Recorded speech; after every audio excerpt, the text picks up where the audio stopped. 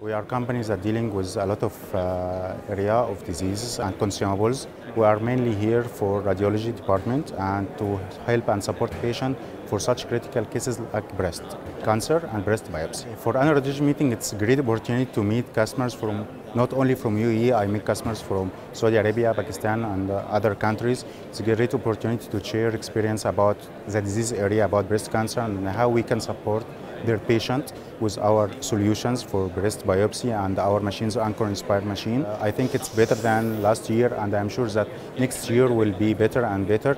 The organization was good, and the attendees, and what about the agenda and the exhibitors who come and doctors and experts make the, the lectures, it's all perfect.